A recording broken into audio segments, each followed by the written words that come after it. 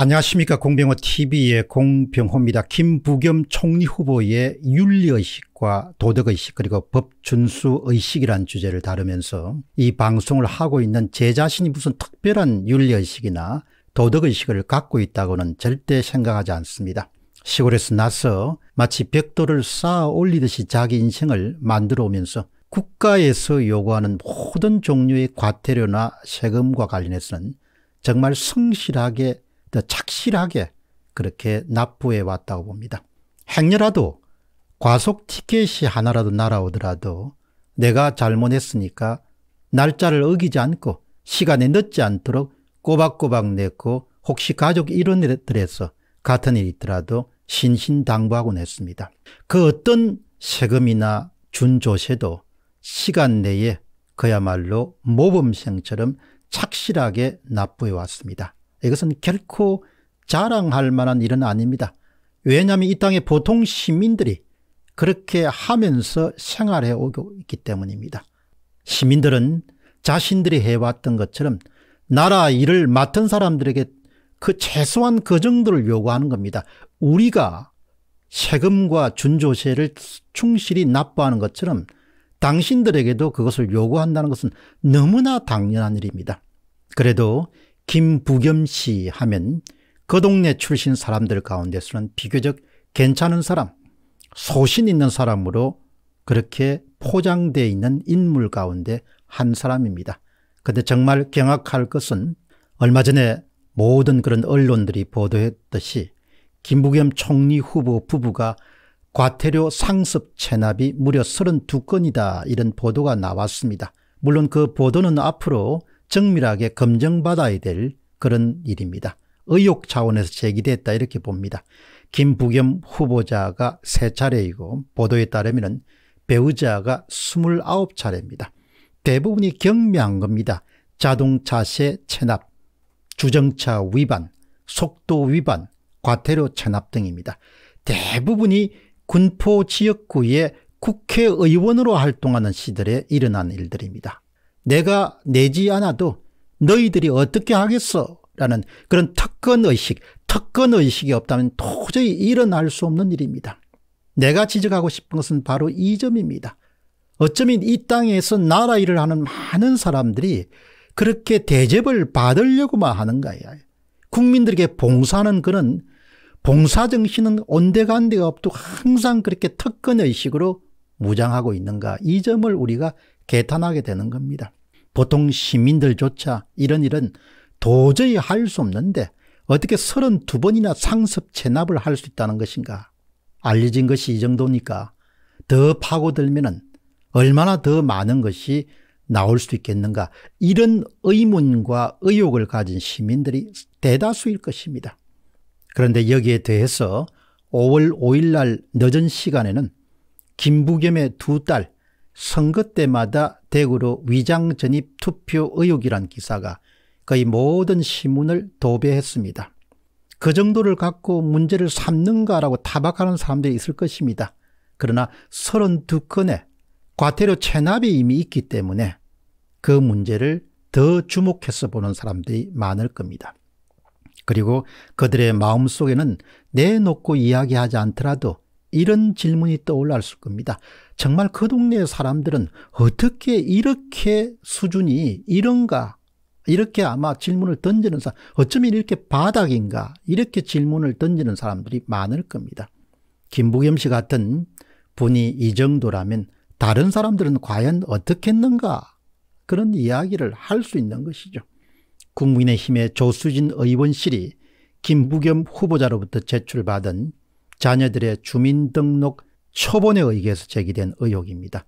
아마 전체 내용이 나온 것은 등본에 아마 나오는 것으로 알고 있습니다만 구체적인 내용은 다음과 같습니다. 둘째 딸 34살, 셋째 딸 27살은 2012년부터 김부겸 후보자의 선거가 있을 때마다 주소를 대구로 옮겼다가 몇 달 뒤에 다시 원래 살던 곳으로 돌아갔다. 공직선거법은 특정한 선거구에서 투표할 목적으로 위장 전입을 한 사람에 대해서 3년 이하의 징역이나 500만 원 이하의 벌금에 처하도록 규정하고 있다.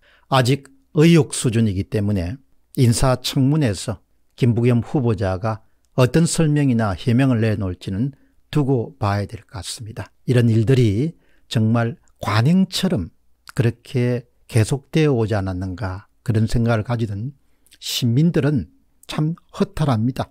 시민 한상 S님입니다. 무려 49명이 찬성을 하고 한 명이 반대를 표한 의견을 필요합니다. 보통 사람은 평생 살면서 본인의 자동차를 한 번도 압류당하지 않으면서 살 텐데 도대체 김부겸이라는 분은 어떻게 살아왔기에 자동차 압류를 32번이나 당했는가 참 기이한 일이다.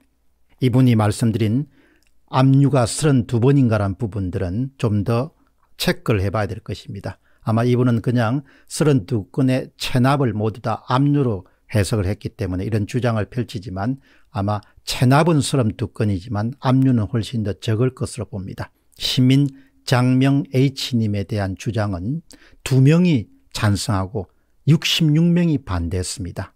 그러니까 김부겸 후보와 같은 동네에 살면서 옹호하는 그런 글을 올렸습니다. 선거 출마하는 아버지에 따라 함께 가서 도와주는 것이 자식된 도리건을 조카가 그랬냐? 내가 같은 동네에 살면서 잘 아는데 선거 생각하면 피눈물이 난다. 씹을거리가 그리도 궁하냐? 이렇게 이야기를 했습니다. 그러나 66명이 반대하고 2명이 찬성을 했으니까 동의를 얻지 못합니다. 어떻든 제가 지적하고 싶은 것은 법을 위반한 사례에 해당할 수가 있다는 겁니다. 사람들이 지적하는 것은 법이 있으니까 선거법이 규정하고 있으니까 위장 전입을 규정하고 있으니까 그렇게 장명 H님이 해석을 하시는 게 좋겠습니다. 또 한 분 신민 김시님은 63명이 찬성하고 반대가 1명입니다.